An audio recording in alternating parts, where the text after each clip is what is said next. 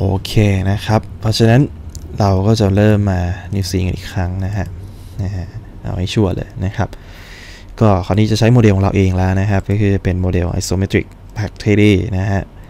ก็39ดอลลาร์นะครับ แต่คุ้มครับของ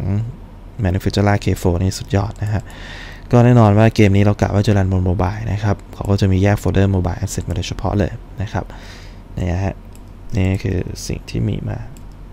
ครับมีให้ เยอะหลากหลายเลย แล้วก็ตัวไทยเนี่ยนะครับ ตัวพื้นในโซเมติกมันก็จะเป็นอย่างเงี้ยครับ เนี่ย เป็น เป็น คือมันเป็น 3D จริง ๆ นะครับ ไม่ได้เป็นภาพ 2D ให้โซเมติกนะครับ ลักษณะนี้ ซึ่งก็เหมาะเลยที่เอามาใช้กับ Tile World Creator นะครับ คือตัว Tile World Creator เองเนี่ย มันไม่ได้สนความสูงด้านแกน y นะครับ เพราะมันเซตออฟเซต ค่าเริ่มต้นได้ มันส่วนจริง ๆ ก็คืออยากให้ขนาดการ x กับการ z เนี่ยเท่ากันนะครับนะฮะส่วนแกน y นี่แล้วแต่เลยนะครับ ก็เลยเข้าทางของ isometric พอดีนะครับ ก็สังเกตว่ามันมีพื้นให้เลือกหลายแบบเลยนะครับ เยอะระดับหนึ่งนะครับ ก็เป็นอะไรที่น่าสนใจมากนะฮะ โอเค งั้นเดี๋ยวเราลองมาเริ่มสร้างกันดูเลยนะครับ ก็เหมือนเดิมนะครับ ไปที่ Time Work Creator ลาก prefab ตัวนี้เข้ามา นะครับลักษณะนี้โอเคลากมาเสร็จเรียบร้อยนะครับ เราก็จะทำการเขียน config ของเราขึ้นมานะครับ อันนี้ก็อาจจะตั้งชื่ออะไรก็ได้แล้วแต่ออันนี้ตั้งไปประมาณนี้นะครับ โอเค พอเรา config ขึ้นมาเสร็จเรียบร้อยนะครับ สิ่งที่จะเพิ่มเติมเข้าไปเนี่ยก็คือ name ตัวนี้ก็จะเป็นชื่อที่ปรากฏตรงนี้นะครับ ปรากฏใน hierarchy ของเรานะฮะ invert ตัวนี้คือจากที่มัน gen ตัว map มาใช่ไหมครับ ถ้าเราติด invert มันก็จะทำกลับกันนะฮะ จากที่เป็นพื้นก็จะกลายเป็นสิ่งกีดขวาง จากสิ่งกีดขวางกลายเป็นพื้นอะไรลักษณะนี้นะครับ แล้วก็ build ground tiles นะครับก็คือจะให้มีพื้นไหมนะครับไม่มีพื้นก็ได้นะครับ ลักษณะนี้แล้วก็ตัว map นะครับ อันนี้ให้เลือกเป็นแนวแกน x แกน z นะฮะ ก็ มันก็จะเป็นด้านหน้ากับพื้นเงี้ยครับ แต่ถ้าเลือกเป็น x y เนี่ย มันจะเหมือนเหมาะเอาเกม 2 มิติแพลตฟอร์มอะนะครับลักษณะนี้ เดี๋ยวจะลอง gen ให้ดูแล้วกันนะครับ โอเคนะครับ grid เริ่มต้นเป็นประมาณนี้ก่อนนะฮะ แต่จุดหนึ่งเลยนะครับ ที่จะเห็นปัญหาก่อนเลยก็คือ โอเคเดี๋ยวเราจะไปที่ก่อนที่จะบายเซตติ้งพวกนี้ทั้งหมดนะฮะ ขอพาไปที่ตัวนี้ก่อนนั่นคือตัว preset นะครับ ตัว preset ตัวนี้ preset ตัวนี้จะสังเกตเลยว่ามันจะมี ตรงขอบนะฮะตรงขอบมุมนอกมุมในนะครับ แล้วก็สิ่งกีดขวางแล้วก็พื้นนะครับ เราจะไปต้องใส่พวกนี้ให้ครบทั้งหมด ถ้าไม่อยากให้มันเกิดช่องว่างนะฮะแต่ว่าจุดปัญหาเราก็คือตรงนี้นะครับที่จะมาอธิบายกัน ปัญหามันอยู่ตรงนี้ครับไอตัว isometric 3D pack เนี่ยมันขนาดมันไม่ได้เท่ากับขนาดกริดพอดีเลยนะครับ สังเกตว่าตรง setting เนี่ยมันจะมีขนาดสเกลของกริดอยู่ตรงนี้ด้วย นะครับ ก็เดี๋ยวลองมาใส่ให้ดูแล้วกันเนาะจะได้เห็นภาพนะฮะ โอเคไปที่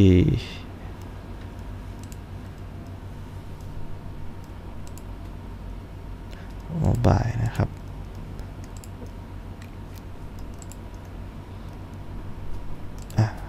ไอโซถ่ายนะฮะ เมื่อกี้ที่เราดูกันไปแล้วนะครับ ก็เดี๋ยวลากมาใส่แล้วกัน เนี่ยนะครับ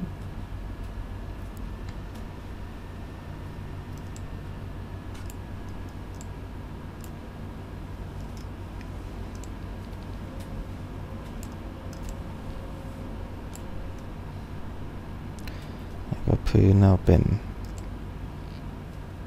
นี่นะครับโอเค อันนี้เราลากมาใส่ครบไปก่อนนะครับ แล้วก็เดี๋ยวมาดองดูผลกันว่าเป็นยังไง อันนี้เราเจเนเรตออกมาแล้วนะครับ ตัวที่เราเลือกเนี่ยเป็นแบบอัลกอริทึมเป็นแบบ BSP Dungeon นะครับ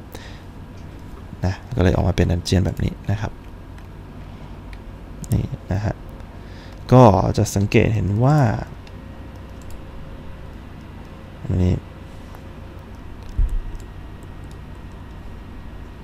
ถ้าดูดีๆนะครับ ตัว เดี๋ยวเอากริดออกไปก่อนติดนะเห็นไหม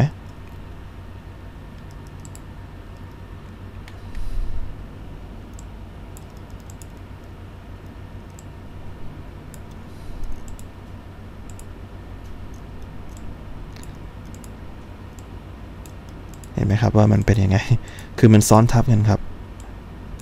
คือไอตัวกริดของตัว t i w e r Creator เนี่ย มันมีขนาดเล็กกว่าเจ้าตัวนี้ กว่าเจ้าตัว Isometric 3D นะครับ ขนาดกริดมันเล็กกว่า เดี๋ยวลองดูขนาดกริดมันนะครับ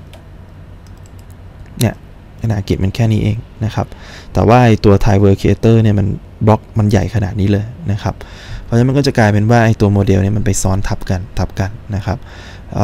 การซ้อนทับกันอย่างเงี้ยจะทำให้เวลาที่เราไปเล่นเกมอะครับภาพมันจะ flip ไป flip มา มันซ้อนกันนะครับ ลักษณะนี้ ซึ่งมันทำให้เกิดปัญหานะครับมันวิธีการแก้ปัญหาเนี่ยก็คือ พอเรารู้ขนาดแล้วว่า grid เราเนี่ยมันเล็กกว่าไอตัว โมเดล 3D ที่เรามาใส่เนี่ย เราก็จำเป็นต้องมานั่งสเกลใหม่นะครับ เราก็จะมาถ้าดูตามเนี้ย มันก็สเกลขึ้นมา 2 เท่าได้เลยนะครับ นะฮะ เราก็ติ๊ก scale tile ตัวนี้ออกนะครับ เพราะว่าถ้าถ้าเราติ๊ก scale tile ตัวนี้เนี่ย มันจะขยายทั้ง grid แล้วขยายทั้งไอตัวโมเดล 3D เราไปด้วยนะครับ เราไม่ต้องการ เราต้องการให้มันขยายให้ grid อย่างเดียวนะครับ นี่เราก็เซตไปเป็นสักสองนะครับ ก็โอเคเสร็จเสร็จเรียบร้อยนะครับ จะสังเกตเห็นว่าเป็นไงครับ ขนาดมันจะเริ่มใหญ่พอๆกันแล้วนะครับ เราก็ลองบิวใหม่นะครับบิวใหม่นะครับโอเค ก็สังเกตเห็นมาว่า เป็นไงฮะก็ดูดีขึ้นนะครับ แล้วก็ถ้าดึงออกนั่นเองก็คือหายหมดนะครับ ลักษณะนี้นะครับ โอเค ราะฉะนั้นอันนี้ก็คือส่วน setting นะครับของตัว t i w e r Creator นะฮะขั้นตอนแรกที่สำคัญที่สุดเลยจริงๆ ก็คือต้องเช็คครับ เช็คก่อนว่าสเกลของตัวโมเดลเรามันเป็นแบบไหนนะฮะลักษณะนี้ พอเช็คเรียบร้อยนะครับ พอเข้ามาถึงอัลกอริทึมพวกนี้เนี่ย โอเค เดี๋ยวขอเปลี่ยนตรงนี้ให้ดูแล้วกันนะครับ x y สมมุติเราเซตเป็น x y อย่างนี้นะครับแล้วกด generate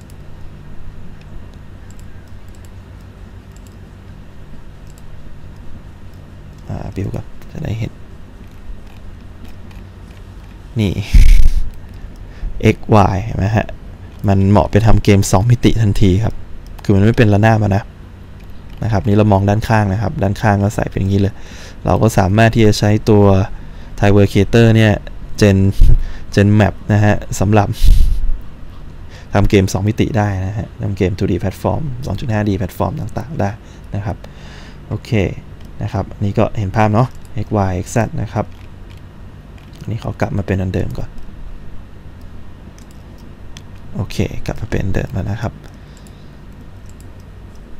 อ่าฮะ setting นะครับ ตรง layer กับตัว layer inset เนี่ย เดี๋ยวจะพูดต่อไปนะครับ เรามาดูตรงขนาดนี้ก่อน ขนาดนี้คงไม่มีปัญหานะครับ ก็คือ เปลี่ยนแบบเปลี่ยนขนาดเนี่ยไอตัวขนาดมันก็จะเพิ่มมากขึ้นนะครับตัวนี้ก็ขยายมากขึ้น ส่วนสำคัญจริง ๆ จะอยู่ตรงบริเวณนี้นะครับก็คืออัลกอริทึมต่างๆ ที่เราเลือกตรงนี้ครับมันก็จะสามารถมีโปรตีใส่เพิ่มเติมได้นะฮะอย่างตรงนี้เนี่ยมันมีการกำหนดเอาไว้นะครับว่าห้องนะฮะเนี่ยครับพวกเนี้ยเนี่ยจะเป็นห้องเนี่ยห้องจะมีขนาดกว้างสูงสุดเท่าไหร่นะฮะขั้นต่ำนะฮะสินะครับแล้วก็ต่ำสุดเท่าไหร่ประมาณนี้นะครับ ถ้าสมมุติเราเซตตรงนี้เป็นสักห้าลดขนาดลงนะครับ แล้วก็ตรงนี้คอริดอร์นะครับคอริดอร์คือตรงนี้ฮะทางเชื่อมตรงนี้นะครับ เชื่อมไปแต่ละห้องแต่ละห้องคือ BSP เนี่ยมันมันเป็นการแบ่งห้องนะครับแบ่งออกเป็นทีละห้องทีละห้องพวกนี้ฮะคอริดอร์ตรงนี้ถ้าสมมุติเราเซตมันเหลือกว้างสักแค่หนึ่งพอมาดูกันว่าผลลัพธ์จะเป็นยังไงนะครับเนี่ยนะครับคอริดอร์มันก็จะแคบลงนะครับ แล้วก็ตัวห้องต่างๆเนี่ย ก็จะสังเกตว่าเมื่อกี้เราไปเซตความความสูงเอาไว้ว่ามีขนาดนะครับต่ำสุดเป็น 5 อะไรอย่างเงี้ยฮะมันก็เริ่มเปลี่ยนแปลงตามไปนะครับลักษณะนี้ เพราะฉะนั้นในแต่ละอัลกอริทึมเนี่ยมันก็จะมีวิธีการเซตแตกต่างกันไปนะครับเซตแตกต่างกันไป ตรงนี้เราก็ต้องไปทดลองเล่นกันดูนะครับว่ามีอะไรแตกต่างกันบ้างนะครับเนี่ยฮะถ้าเป็น Simple Dungeon เนี่ย Simple Dungeon มันก็จะ คือเน้นเป็นห้องห้องไปเลยอะ่ะอยากให้มีกี่ห้องเป็นยังไงลักษณะเนี้ยนะครับ มันจะต่างกับของ BSP นะครับ BSP นี่มันจะไม่สามารถระบุได้ถึงรายละเอียดได้ขนาดนั้นนะฮะแต่มันจะพยายามจะวนไปทั่วทั้งแมปนะครับทั่วทั้งแมปให้มีเป็นตามอย่างนี้ แต่ถ้าเป็น Simple Dungeon เนี่ย Simple Dungeon มันก็จะมีแบบเนี้ย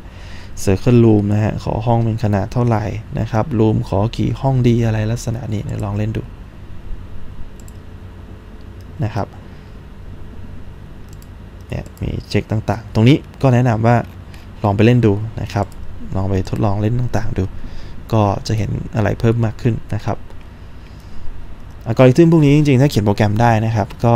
สามารถที่จะเขียนอัลกอริทึมตัวเองเพิ่มเข้าไปแทรกตรงนี้ได้นะครับ อันนี้รูมเขาขอเป็นสีอาจจะเห็นไม่ชัดนะ